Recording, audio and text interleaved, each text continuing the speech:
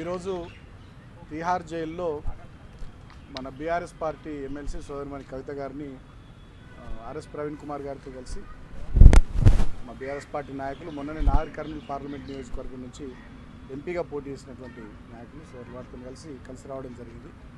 So వారు చాలా ధైర్యంగా ఉన్నారు గట్టిగా ఉన్నారు. ఎందుకంటే she's a daughter of fighter ఆమె కూడా సహజంగానే ఫైటర్ కాబట్టి చాలా మానసికంగా బలంగా ఉన్నారు ఒక అక్రమమైనటువంటి కేసులో అన్యాయమైనటువంటి విధానంతో కేంద్రంలో ఉన్నటువంటి భారతీయ జనతా పార్టీ ప్రభుత్వం దుర్మార్గంగా ప్రతిపక్షాలను ఈ దేశంలో అణచివేయాలనేటటువంటి కుట్రలో భాగంగా కేసీఆర్ గారిని ఏమీ చేయలేక వారి కుమార్తె అయినటువంటి కవిత గారి మీద ఈ రకమైనటువంటి ఒక అన్యాయమైనటువంటి కేసు పెట్టి జైల్లో పెట్టించింది కాబట్టి ఆమె చాలా బలంగా ఉన్నారు మానసికంగా దృఢంగా ఉన్నారు డెఫినెట్గా భవిష్యత్తులో మాకు న్యాయస్థానంలో న్యాయం జరుగుద్ది అనేటటువంటి ఆశాభావాన్ని కూడా వారు వ్యక్తం చేశారు. ఈ సందర్భంగా నేను మీడియా ద్వారా ప్రజానీకానికి కూడా విజ్ఞప్తి చేస్తూ ఉన్నా. ముఖ్యంగా ఇక్కడ ఢిల్లీ ముఖ్యమంత్రి ఉన్నటువంటి కేజ్రీవాల్ గారిని కూడా లోక్సభ ఎన్నికల ముందు వారిని కూడా జైల్లో పెట్టినారు ఢిల్లీ ఉప ముఖ్యమంత్రిగా ఉన్నటువంటి మనీష్ సిసోడియా గారిని అయితే సంవత్సరానికి పైగా జైల్లో పెట్టినారు. జార్ఖండ్ ముఖ్యమంత్రిగా ఉన్నటువంటి హేమంత్ సోరెన్ గారిని జైల్లో పెట్టినారు.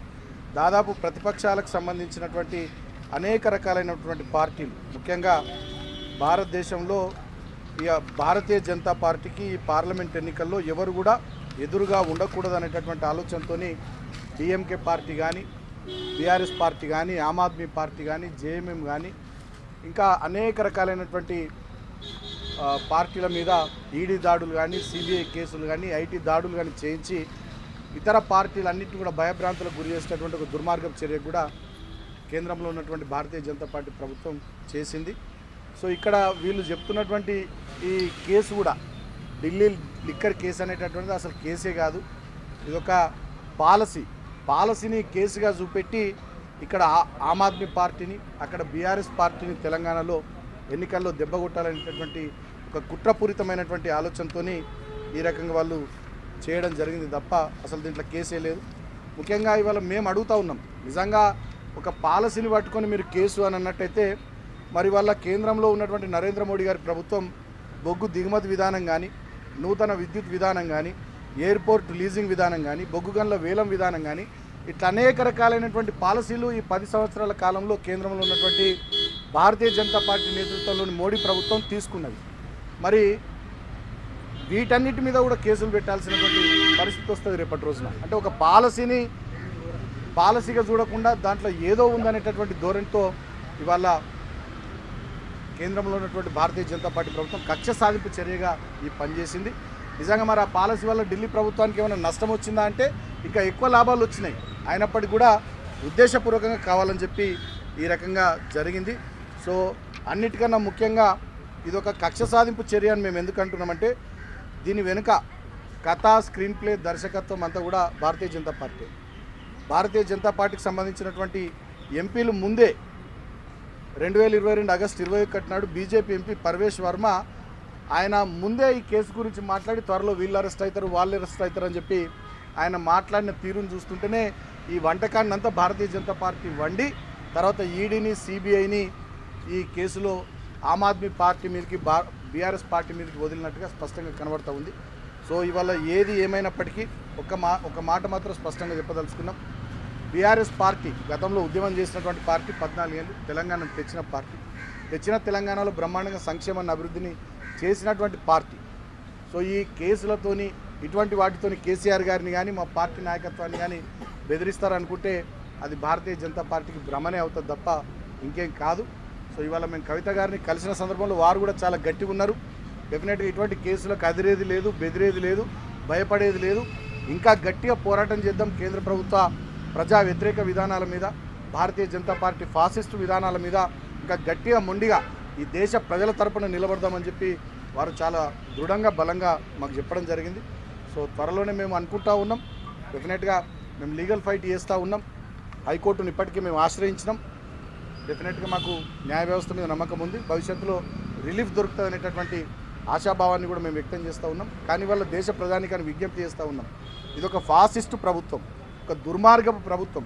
ఈ దేశంలో కశ్మీర్ నుంచి కన్యాకుమారి వరకు అటక్ నుంచి కటక్ వరకు దళితుల గురించి రైతుల గురించి మహిళల గురించి బలహీన వర్గాల గురించి మైనారిటీ వర్గాల గురించి వాళ్ళ సంక్షేమము ఈ దేశ అభివృద్ధి అనేటటువంటి సమస్యల గురించి వీళ్ళు ఏం మాట్లాడతలేరు.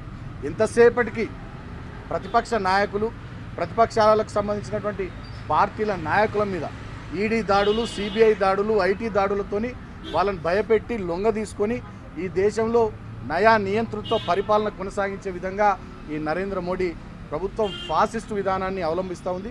అది దేశ ప్రజానీకం డెఫినెట్గా గమనించారు గమనిస్తున్నారు. కాబట్టి రాబోయే పార్లమెంట్ ఎన్నికల్లో ఇప్పటికే ఈ నాలుగు దశల్లో జరిగినటువంటి ఎన్నికల్లో భారతీయ జనతా పార్టీ ఘోరంగా దెబ్బతిన్నది. ఈ రాబోయే మూడు దశల్లో కూడా ఇంకా ఘోరంగా దెబ్బతింటుంది.